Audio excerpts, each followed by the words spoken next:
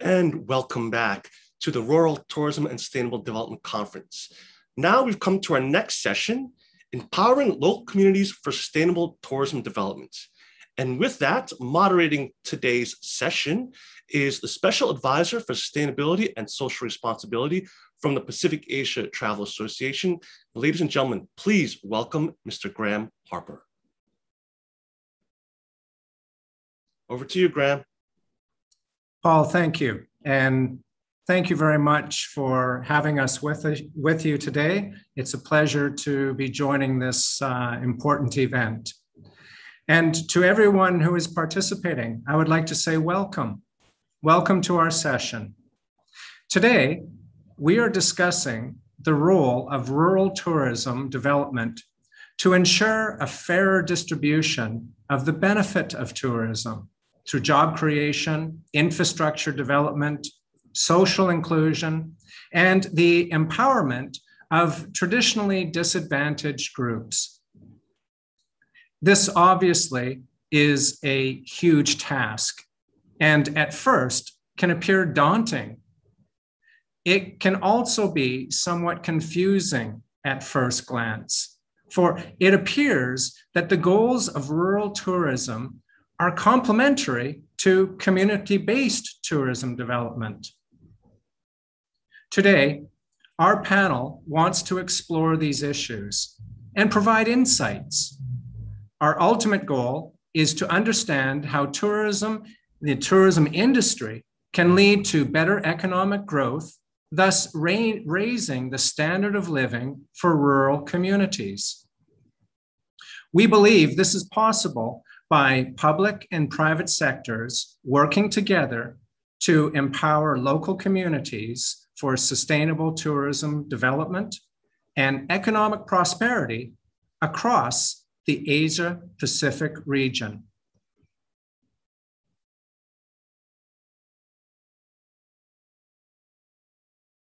For today's panel, I'm pleased to introduce the guests that are joining with me. And as I introduce them, I would like them to turn on their cameras so that we can go into our introductions.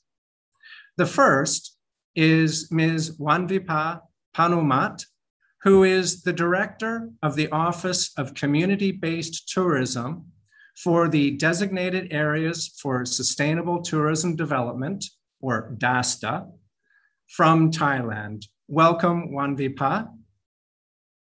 Next, from Malaysia, we have Ms. Norida Othman, who is the general manager of the Sabah Tourism Board.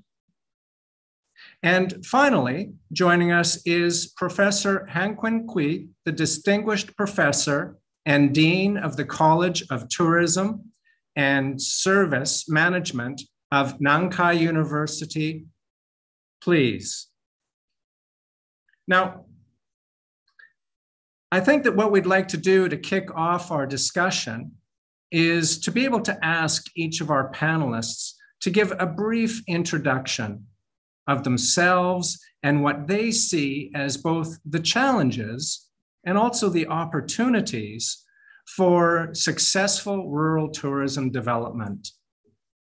Now, let's start in with Thailand. Uh, Ms. Wanvipa, please, if we could start with you would you be able to give some introduction to your work with DASTA and the insights that provides for the challenges and opportunities to succeed for rural tourism development?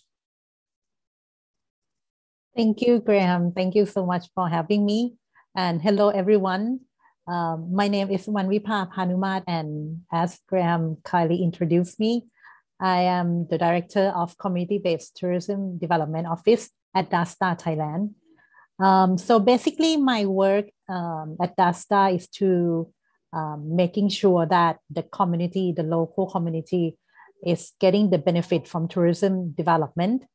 And that way, what we use is that we use community-based tourism as the approach to work with the local communities. And um, since I have been working with Dasta for about 10 years, I can see the change of the trends and the opportunity that the rural tourism and the community-based tourism is um, it is today. As you know, after COVID-19, people are looking for um, travel further and deeper and to more um, unique places and to do the um, like memorable activity with the authenticity in the areas. So these are the opportunity that I think the tourism can be um, one of the tools for community-based tourism and for sustainable um, rural development as well. And one of the insight that I have learned during the time that I working with the local communities around Thailand is that um, for them to be successful, of course, there, there should be focusing on participatory process. Like as a government, we work to make sure that the local community feels the ownership and be empowered by the capacity building programs and to get them involved in all the process of development. And another key success factor is that you need to make sure that the benefit sharing to the local community is very clear and very fair to them because if they see the benefit of getting involved in tourism development then they will participate and they will feel the ownership and they will feel proud of presenting themselves through the rural tourism. Thank you graham. Yeah no thank you very much. And you know extremely interesting. And I, I think what really caught my ear there was you know number one talking about the participatory approach um, by working with the local communities to ensure that sort of sharing of benefits. And I mean, ultimately, that's all leading to that empowerment, which is really what we're here talking about today. So wonderful, great introduction and a great way to kick it off. But now let's move on to our next panelist, to Ms. Norida. And Perhaps you could give some insights into what you were doing with the Sabah Tourism Board and you know some of those opportunities and challenges that we could be faced with. Um, hi, Graham. Thank you. Um, my name is Norida, and I am the general manager of Sabah Tourism Board. We have recently renamed it to CEO, um, and we are we have been involved in promoting rural tourism since uh, for a long time, but we have really focused on it in 2014. Uh, so since then, um, in 2017, when we have sort of established the rural tourism uh, among the local communities, we have actually embarked on four pilot projects in four different districts. And the first step was actually to, like uh, um, Madam Wanvipa has said, uh, it's the ownership yeah creating the ownership feeling that you know they own the the product and they are responsible for the products uh, itself and also for them to be able to participate in the development of rural tourism.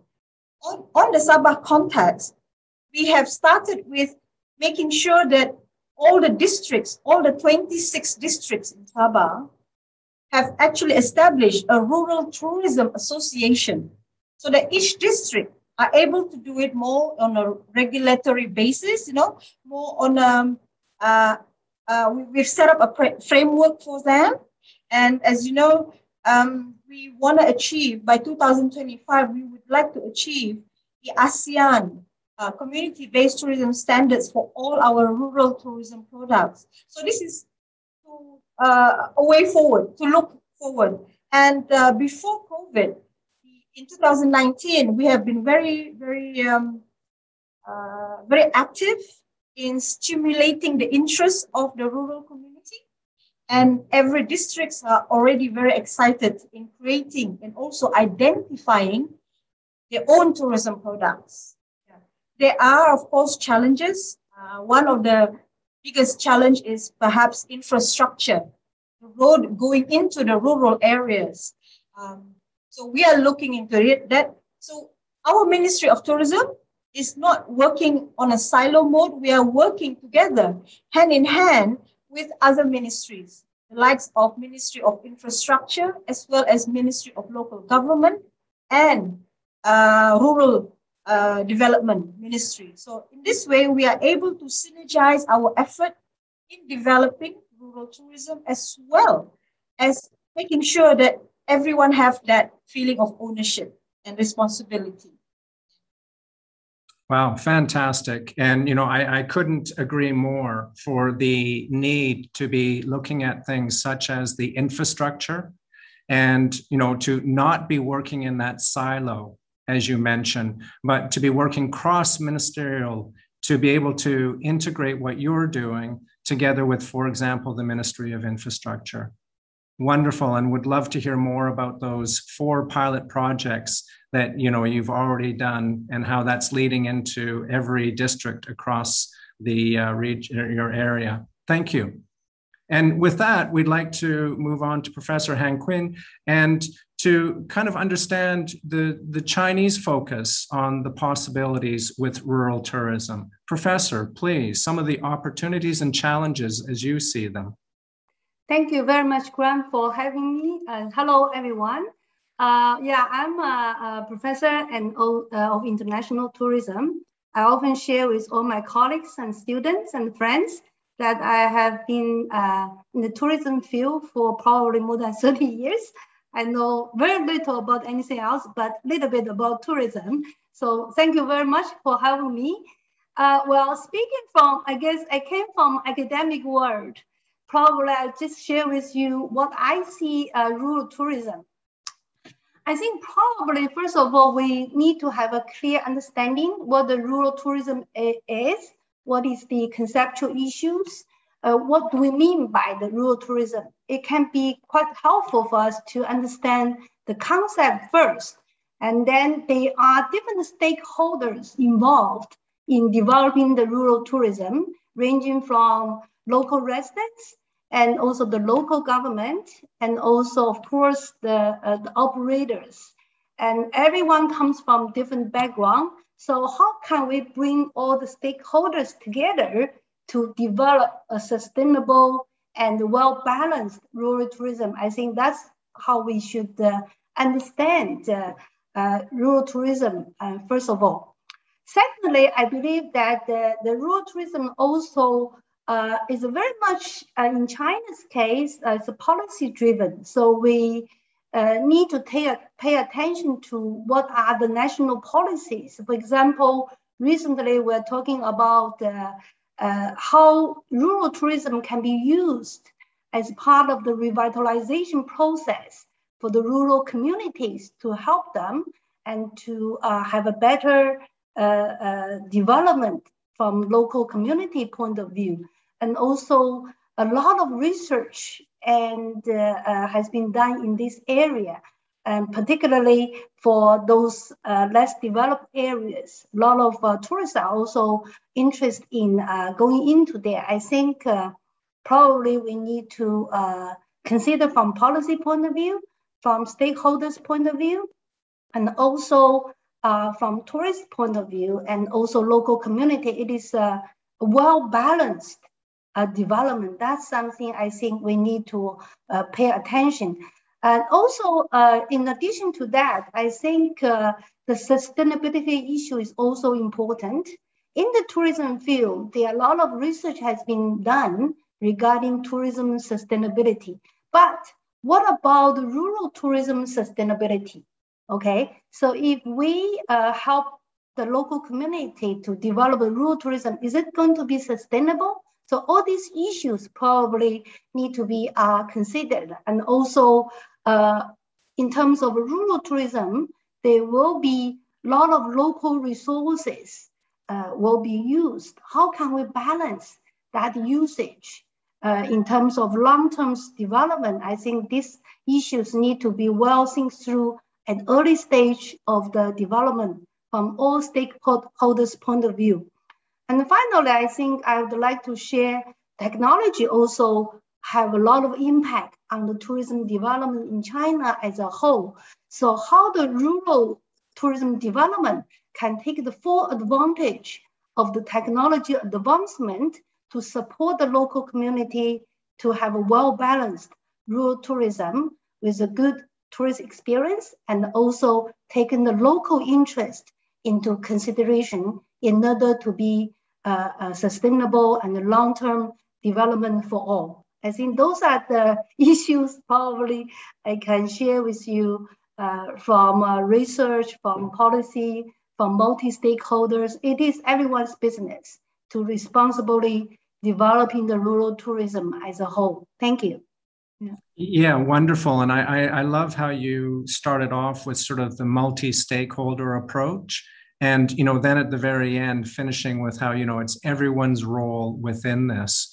Um, but also just you know how, how to be able to work with those uh, quite remote areas also a very very important part of the overall work so with that, let's let, let's move on to another question. And Wanvipa, I'll go back to you because I know that DASTA, just in the work with you know community-based tourism, but you know moving more and more into the rural tourism, um, you have developed criteria um, from the GSTC, Global Sustainable Tourism Council um, standards on how to be able to manage tourism. And I wonder if you could explain how this could possibly be a tool that could be used um, for the destination management and for rural tourism. Uh, actually, um, at DASTA, we work with GSTC, the Global Sustainable Tourism Council, um, to use GSTC as the main guidelines for um, sustainable tourism development in every levels of development. So basically in the destination level, we use the GSTCD, like GSTC for destination, um, to be like a um, umbrella, the big umbrella for planning for each destination. And we also develop our own um, guideline called Sustainable Tourism Management Standards, which is to empower the local government um, to be the tools for them when the when the local government needs to work with different stakeholders in the destination. We treat the local government as a um, destination management organization. So basically, they should learn how to um, plan or how to implement um, in align with the GSTC um, criteria. And we also develop the CBT Thailand standard the community-based tourism Thailand standard um, as a, in align with GSTC as well to plan the capacity building program and to be the guideline for CBT development. In uh, for now, we have more than 160 local communities around Thailand that uh, in the process of develop according to this criteria. So basically, this this this GSTC, this CBT Thailand um, standard and um, all the GSTC guidelines that we use, we see the benefit of using it as, first of all, we use it as a um, evaluation tools when we start to work with each communities or each destination. We use this guideline to as a checklist to see what is missing, what are the um, strain point and this kind of things. And we also use it as a planning tools so that what is missing, we put it in like a capacity building program for each destination. And then we also have um, use it to be as a monitoring um, tool as well. So basically, whatever we develop in each local communities, we will invite other stakeholders like the private sector, the academics, the um, governmental agencies to to learn about GSTC and then monitor or evaluate the capacity of each community-based tourism project that we work as well, so that we can continue to um, develop them according to GSTC. So these are the things that um, the process that we are working with each destination that we um, do in Thailand. So I mean, it's it's it's interesting because you know you've been working a lot with the GSTC, but you know there are other standards, and you know if we look around, you know, well, I mean, just previously in her her answer before, Norida was talking about the ASEAN standards and how they're trying to get every district, you know, within their region to be able to adhere to those standards. So how, I mean, if you were talking to one of your colleagues, you know, maybe from another country, another destination, and, you know, they were kind of wondering which standards should they be looking at, what advice would you give? And, you know, how can they best identify the standards that they should be using? Um, actually, from my um, experience of using GSTC, and actually in Thailand, we we also have some other communities that has been awarded ASEAN CBT standard already. We can see the linkage um, to each other. So basically, every standard that we are using is um, aligned with GSTC. So, but what I have as an advice is that GSTC is a big umbrella. Um, it's like a global guideline, but you need to really adapt it into the context of each um, nations or each countries. Because the thing is that when Thailand we use we we bring the GSTC to Thailand, we need to adapt a little bit as well. For example, GSTC have four dimensions, um, like the sustainable tourism management. They have the economic sustainability and um, social and cultural sustainability and environmental sustainability. But when we implement it in Thailand, and we work with private sector as well, we add another two dimensions to it, which is the health and safety issues. And another thing is that we add um, the linkage, like how we can link the local communities to the tourism supply chain. So these are another two dimensions that we add to the GSTC and develop it to be CBT Thailand standards. And then we use it and we send it to the GSTC and say that, okay, please have a look whether it's aligned. And then the GSTC endorse this standard to be like a Thailand context standard. So my suggestion is that don't just bring everything and then implement it in each destination because you need to really see the cultural context or the social context in each country as well. Yeah, fantastic. And, you know, what I really heard there was the adapt. You know, every place is different, every destination is different. One size does not fit all. So we always have to be looking for how we adapt it to that local context. And, you know, that's probably one of the true underlying principles of rural tourism is that, you know, we do need to adapt because every community is going to be unique in their own way. So Norida, let's let's move over to you because you know in the Sabah Tourism Board, you know your mission is to be able to form smart partnerships with tourism stakeholders. You alluded to that before with about you know the Ministry of Infrastructure. And you know that's to adopting and complying with best industry practices in order to achieve that sustainable economic development and environmental integrity. I mean, you've set yourself a very you know, high, strong mission. So, how has rural tourism played a role in allowing you to achieve this mission? Graham, um, just like what uh, Wanvipa has said, you know, it's incorporating other elements into the context of different areas. Uh, as you know, we are so rich in cultural diversity. That's most important thing that we are able to uh, contain and preserve our culture, our environment, and also at the same time elevate that socio-economic all our community. Mean, one of the reasons that we have established rural tourism and CBT practices is because we want to make sure that tourism is not just confined to the urban areas, but it is also spilled over to all the rural areas so that they don't have to travel far to earn money for tour in tourism, but they can actually stay within their community and earn tourism dollar too. So for us, um, rural tourism has actually helped us see how rich and how how blessed we are, basically, in terms of culture, in terms of nature, you know, and at the same time, it will help us preserve our environment. Yeah, the rivers, the mountains, if there is a way and there is a purpose in every thing that we do, we are able to also conserve, you know, what's around us. And I think uh, rural tourism has actually allowed and opened the eyes of our local community that they don't just have to work in five-star resorts, but they can also stay within their community and earn tourism dollar, but at the same time preserving their culture, making sure that nature will remain as it is for the next generation.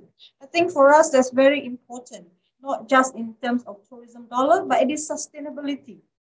We won't leave our nature as pristine as it can be to our next generation. Not just for today, we don't want to earn the money today, but we want to make sure that our grandchildren will be able to appreciate their nature, you know, the blessing that we are, we are given, and also earn income through that in a sustainable way. Hence why we want to make sure that by 2025, all our rural tourism products adhere to some sort of standard. We're not as lucky as Thailand. They have all the standards all laid out. We're learning. But we'd like to learn from all the good practices, all the best practices. Yeah um, and, and to make sure that we don't make mistakes, or rather we minimize the mistakes that human can make. Uh, when you know when the, when you see dollars dollars, you may be able to make mistakes. So we, let's minimize that through learning, through understanding what rural tourism is all about, to make sure that it incorporates into our daily lives and appreciate our culture, nature, and don't stray too far. Yeah, I think that's that's the best for the rural tourism. Thanks. Yeah, wonderful. And I mean, you you really really highlight the natural beauty and diverse wildlife, which of course Sabah is so well known for. I mean, it is such a precious resource and you know how you say it's not just for today but you know it is also for those future generations. Now can you maybe just just elaborate a little bit more on maybe some of the ways that you can ensure that rural tur- tourism does not threaten those precious resources? Can you give us any kind of examples of maybe how we can be following your lead here? Um, we always say that let's share the stories behind our rural tourism. You know, in Sabah, we are also known as to have the, the Tagal system. Tagal system is where they actually conserve certain parts of the river. They do not harvest the fish certain uh, time of the year, you know, or, or rather throughout the year, they do not harvest the fish, only doing it at certain time of the year. So this is one of the system that you know, uh, age-old uh, system that is still practiced today. Um, also, another another method is actually we are an aspiring global geopark. Um, the, the, the area near our mountain, Mount Kinabalu and Kinabalu Park, is, is, is an aspiring global geopark. And we hope we'll be able to uh, achieve that this year. And within that global geopark, the proposed global geopark, we have three main districts Kota Belud, Ranau, as well as Kota Marudu. And these three areas have very high potential in terms of rural community, uh, community-based tourism. So being within that uh, um, spectrum of conservation area, we are also able to lay down the rules and regulations on what not to do and what to do. Uh, hence, you know, achieving the sustain sustainability. Yeah, I think uh, that's very important for us. Yeah, fantastic. And I, I, really get that, you know, number one, you're talking about really building on those traditional uh, standards, traditional ways of doing things, you know, with the no fishing in the rivers, but also through your product development, you know, the geo reserve, et cetera. So wonderful examples. Thank you very much. And Professor Hanqin, um, perhaps we could move over to you. And you know, throughout your, especially in your introduction, you know, we're highlighting this, but throughout your distinguished career, you have explored and researched many aspects of the tourism industry. And I'm most interested in how you perceive the role of tourism behavior in rural development particularly how can the more affluent urban travelers you know their expectations of comfort how can that be met in rural situations? Thank you very much. That's a very interesting and uh, uh, question for me to share with all of you. Well, uh, as I mentioned earlier, rural tourism is a multi-stakeholder business. Uh, probably I can share with you a little bit about the China situation. Uh, I believe that the, the rural tourism in China is a big topic. It, it really has a lot of potential for development. From government point of view, I guess they have a very important role to play in terms of infrastructure investment development, because as you can all appreciate that China is a huge country. Road is the most important. So I believe that uh, uh, from multi-stake point of view, everyone has an important role to play before we move into the tourist side. So for the rural tourism to be developed in the long run sustainably from cultural, social, environmental, host and guest relationship point of view, I believe government has an important role to play to build a grand infrastructure to support the development. That's the first and foremost important issue, uh, which Chinese government has been doing very well. As you can see, our the road system and our railways, our high-speed train, you name it. So they are uh, uh, one of the best, I can say. And secondly, I believe as uh, uh, our panelists shared with all of us, I believe the standard, the certification at the global level is also very, very important to have a standardized uh, sustainable development practices shared among different uh, communities. So no matter it is uh, uh, probably our Thailand friends developed at GSTC in which some of China destinations have joined. I did my homework before I came. And I guess as uh, Graham mentioned earlier, any standard helps for the industry to be advanced. So I guess that's also uh, is a role to be played by the government monitoring and for the uh, any kind of uh, NGOs and the committees, councils, all have an important role to play. As I said, tourism is a very complicated multi-stakeholders business. And then finally coming to uh, Grant's point, from tourist point of view, when we as the tourists going to the uh, rural areas, we like to enjoy the local community by talking to the people, understand their culture. I have some students going to the community doing a lot of projects. They just love the environment. But as you can see that, of course, rural areas life will be very different from the city. So we need to lower our expectation first. You are coming to the countryside, countryside to experience different type of uh, uh, experience. But having said that, doesn't mean that there's a, they can uh, sacrifice the quality experience. When you are tourists, no matter where you go, you do have expectations. I think uh, the rural areas have an important role to play to advance their services to provide positive experience. Eventually, you can bring them back to your business. I have been to some of the rural uh, uh, area tourism sites. I think they have been doing very well, but some of them, uh, of course, need a lot of improvement. They are different types of just like hotels, right? When you are walking into a five-star hotel, you would imagine yourself to be in a spoiled by the best services in the world. Whereas when you go into a less developed areas, you experience something very local. So depend on the tourists have to adjust the expectations where the local host have to do a good job, if I may say so. It's really a balanced uh, overall uh, thing we need to be fully aware of. I hope I answer your question, Grant. Yes, you did perfectly. And thank you very much because, you know, those traveler expectations are really important. And I just want to kind of check a little bit more with that is, you know, how can that be accommodated through improved tourism and planning regulations?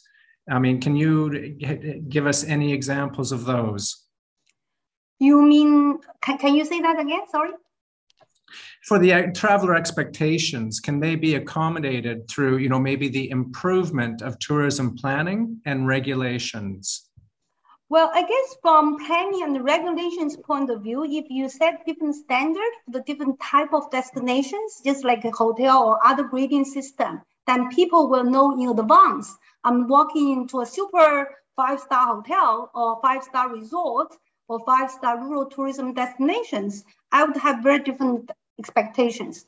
Whereas if I walk into a probably different rate grading system, uh, the place, that I would have lower expectation. Probably from rural tourism development point of view, if you may say so, planning point of view, we would communicate that standard well in advance to the customers. In that way, they know what to expect when they are actually getting there.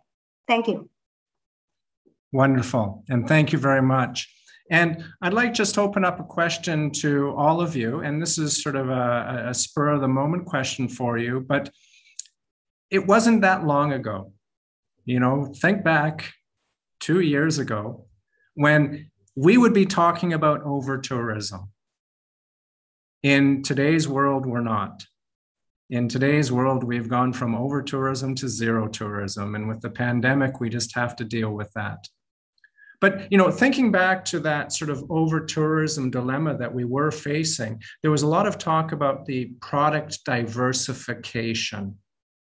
And I'd just like to get your quick insights into how we can be using rural tourism and the product development with rural tourism to assist with the overall diversification of economic benefits and tourism flows. So, quick, it's a big question, but quick answers. Wanvipa, let's start with you.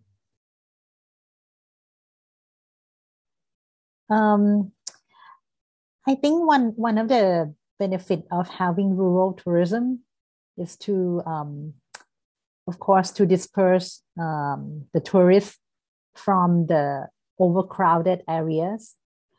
But um, to successfully do that, I think it has to be the elements of um, the readiness of the secondary destination as well, like the rural area. Um, as um, Norida had mentioned that the infrastructure needs to be ready. And one of the one of the um, important thing is that the local communities or the rural communities need to be understand about what are the pros and cons of tourism as well.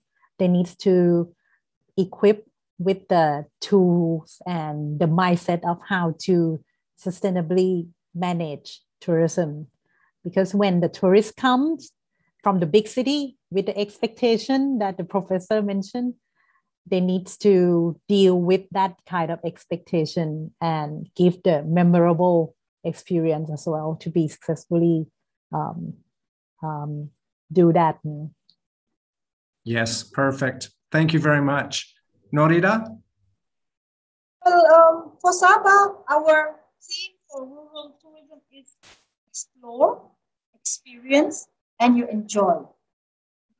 So you are exploring the rural areas, basically. Uh, like what, uh, you know, uh, my colleague from Thailand says, you have the, the tourism stakeholders have to be ready. They have to know what is expected of them. And uh, especially now with the new norm and all that, you know, like clean and safe protocols has to be in place. Um, in terms of carrying capacity, must also be looked at.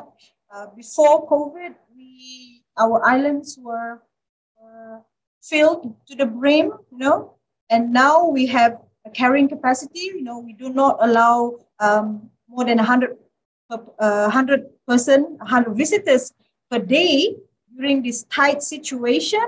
Um, may improve later on, but we, we see that we are able to um, be more prepared. Yeah. And I think uh, for us, whose international borders are closed uh, until today, uh, for the next perhaps six to one year, we six months to one year, we will be depending on domestic tourism. Hence, we are our, our locals will be moving around to actually experience and explore and enjoy our rural tourism. Yeah, thank you, thank you, and that's you know a good a good comment that you know we are focusing on that domestic tourism at this point, an important strategy at this point in time. Professor, yourself on the diversification of economic benefits and tourism flows. Yes, thank you very much. I think our panelists uh, has mentioned quite a good few good points, especially uh, just on this topic of domestic tourism probably is most relevant for China and also very relevant to our topic today on rural tourism because we will need more space. with social distance. And for the benefit of everyone's health, I believe rural tourism uh, uh, will have a very important role to play. For China's case, because China is a huge country, probably in this uh, current situation with limited travel allowed globally, probably developing domestic tourism would provide our rural tourism uh, stakeholders and operators a lot of opportunities. At the same time, probably uh, people are paying more attention to the health issues and they love the fresh air and the countryside life. So I certainly see the bright future for the rural tourism for all of us to experience more in the more remote areas, if I may say so. Thank you. Yes, and I, I love that bright future. And with that, with that, you know, talking about the bright future, my last question to each of you is about the future. Now, let's imagine it's now September 2026, five years in the future. The world has finally recovered from the COVID pandemic, and international tourism is back. What do you think our industry has learned? And how will we be better prepared for the next great event? So, Wanvipa, once again, let's start with you. And what do you think our industry has learned, and how will we be better prepared for the next great crisis? Please. I think one of the lessons that we have learned during this crisis is that we cannot overlook about the risk management in the local area as well. Because um, with DASTA, we always say to the local communities that we're working with that you shouldn't um, change your main op- op- occupation and to just use tourism as you know the single income you know, that's too risky. And it proved that with this crisis it's, it proved that tourism is very risky indeed and we need to you know like um, manage it in a very careful um, not over dependent on tourism you know, and or not over dependent on specific market you know. so this kind of things that i've learned and another thing that i've learned during this crisis is that networking is very important and the like for the local communities or for the rural community especially to outreach yourself and link with other stakeholders or other communities is very important. Because the thing is that without the tourism now at least you have friends around the countries that you know like support each other in terms of you know agricultural products or um, you know like fishery or something like that you know at least you have someone to give you the support and to share the experience and to overcome this crisis together. And time, also in, yeah. in times of crisis it's always good to have the friends. Yes, yes. yes indeed. And it's not only about the friends of other local communities but the friends from the private sector as well. You know the tour operator the hotels that you used to working with they are in the same crisis with you. So at least you need to hold hands you know and yes. going yes. strong together you know. Yes. So these are the things that i think will help well, you sustain in the long term. Yeah and i like that risk management. It's very you know you got to look at the risks involved with the tourism and the local communities have to know that. But i love that developing friends and holding the hands. Norida over to you. What do you think some of the main lessons learned? Never put your eggs in one basket, they say. um, but it is important for us, I think, for uh, to everyone talks about resilience. Uh, but most of all, I feel um, solidarity and understanding is very important in terms of crisis. I like that holding hands. We've been holding each other's hands here in Sabah.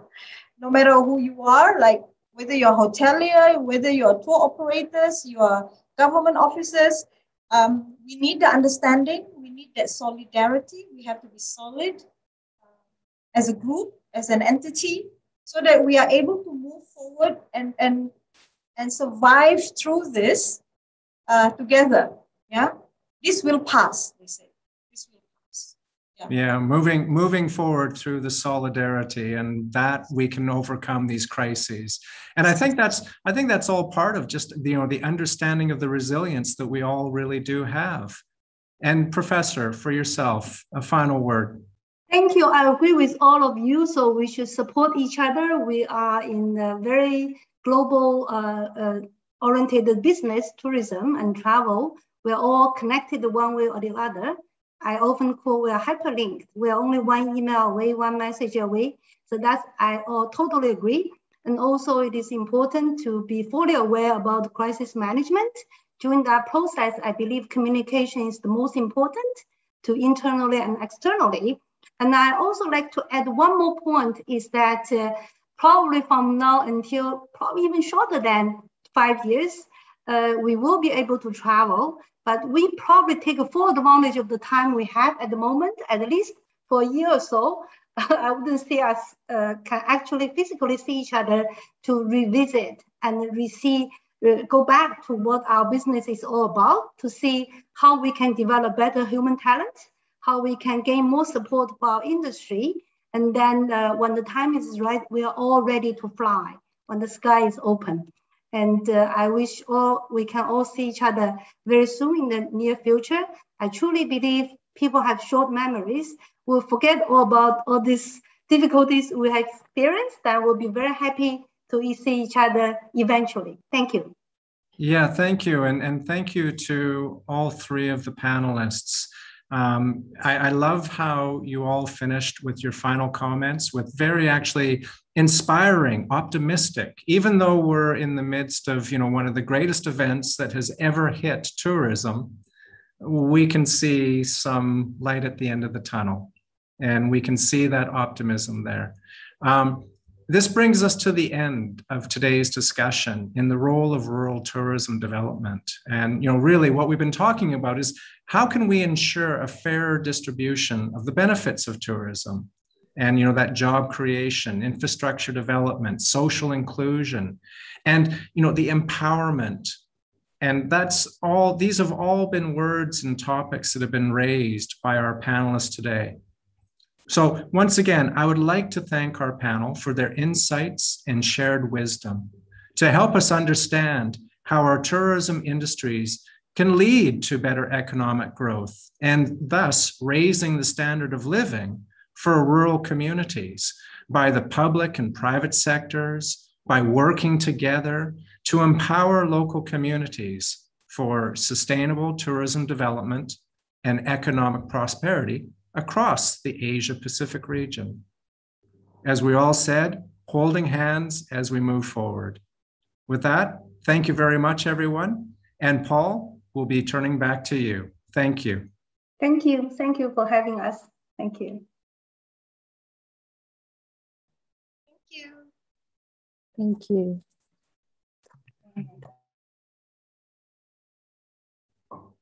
Paul, you have to unmute sorry. Uh, that's, that's like the quote of the year, right? So thank you very much, Grant, for doing an excellent job of moderating the session. And thank you to all of our panelists for taking the time out of their busy schedules for joining us for today's conference. With that, I'll let you guys go while I do uh, the next uh, transition to our next session. Thank you. Bye. Thank you very much, Paul. Thank you. Thank so, you. thank you. So with that, we've just heard on the session on empowering local communities for sustainable tourism development. And as we move to our next session, please sit back, relax, and enjoy this promotional video from the town of World Rural Tourism. Enjoy.